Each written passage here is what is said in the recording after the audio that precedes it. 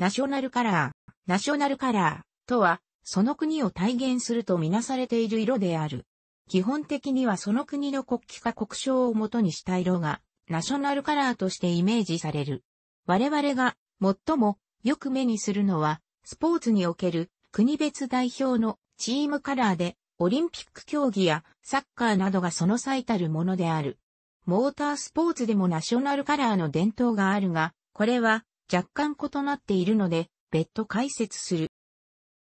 国の名誉を色で表現することは、ローマ時代から行われており、都市国家ローマを象徴する色は紫とされた。当時は貝紫色の染料が貴重だったこともあり、後の帝政ローマ時代には皇帝の権威を表す色としても重視された。近代では国旗の色にそれぞれの歴史や建国の精神を表彰させることが多く、フランスの青、白、赤やドイツの黒、赤、金など国旗と色の表彰は一体のものと解釈されることが通例である。現代、ナショナルカラーが言及される場合の多くは、国際スポーツにおける識別表としてのチームカラーであり、各スポーツにおける国際連盟が各国代表、連盟から個別に聴取し登録するものある。多くのチームカラーは国旗に使われる色が使われるが、例外もある。オーストラリアの黄色と緑は、国の花はトルの黄色い花びらと緑の葉から来ている。オランダのオレンジは、オレンジ港、ウィレムのプリンスの旗と呼ばれる、初期の三色旗、青、白、オレンジから採用している。イタリアの青は、旧イタリア王国やその前身にあたる、サルデーニャ王国の国旗に由来し、さらには、地中海やアドリア海をイメージしている。ベネズエラのチームカラーは、バーガンディ、ワインレッドだが、これは、国旗の3色、赤、青、黄色を混ぜるとこの色になるためである。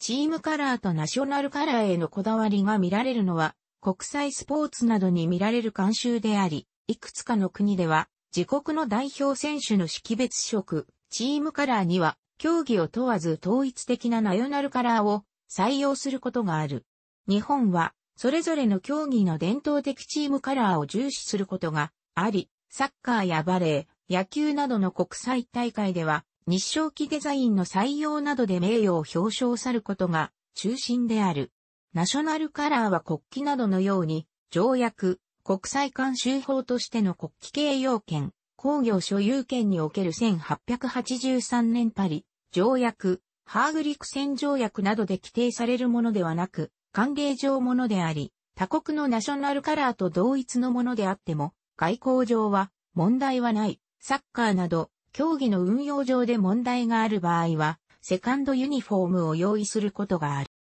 基本色に青と白の2配色が定着しているが、これは正しくはチームカラーであり、ナショナルカラーというわけではない。この青は一般的に日本の国土を象徴する海と空の青を表すとされていが、これは後付けの理由である。最初期の日本代表は選抜チームではなく、原則的に大学やクラブなどの単独チームで構成されており、ユニフォームも各チームのものがそのまま使用されていた。日本代表としての初の国際試合は1917年、極東選手権で東京高等師範学校、東京教育大学を経た、現在の筑波大学のエビ茶色のシャツを使用していた。初の選抜チームで構成され優勝を果たした1930年、極東選手権の日本代表は青、ライトブルーのシャツを使用した。これは、選手の大半を送り込んだ東京帝国大学に習ったものと考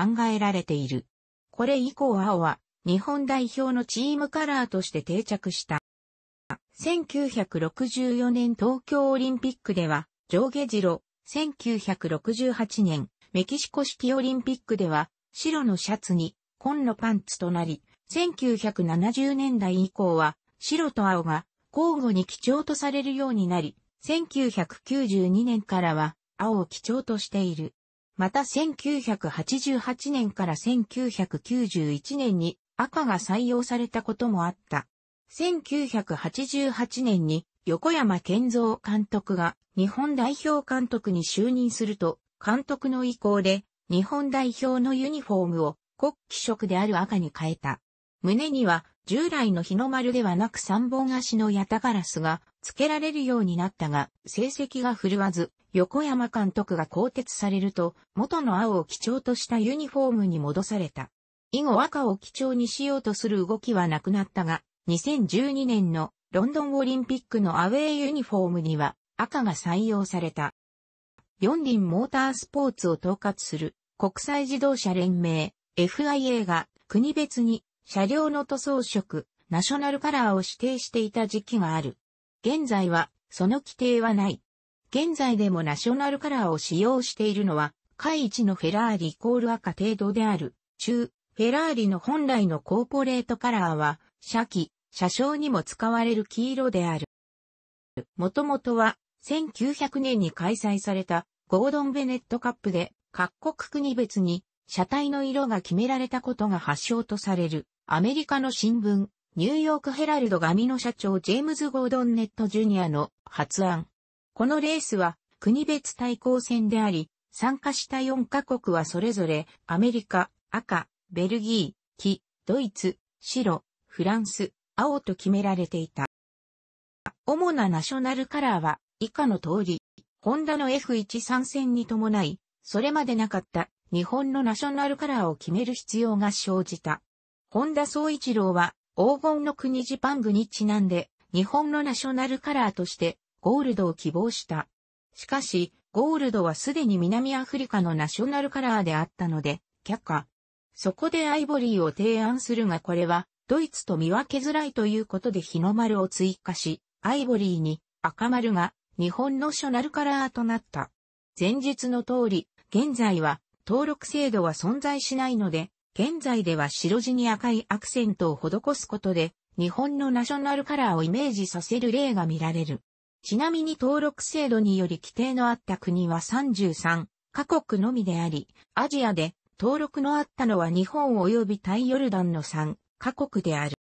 かつて海一などの国際レースでは、ナショナルカラーの使用が多かった。しかし、F1 では1960年代終わりに、イギリスのロータスがスポンサーカラーに塗られたマシン、タバコのブランド、ゴールドリーのテーマ色である赤と白、境界部に金の線が入るを登場させたのをきっかけに、他チームも続々と追随して、マシンをスポンサーカラーで塗装するようになり、ナショナルカラーは駆逐されていった。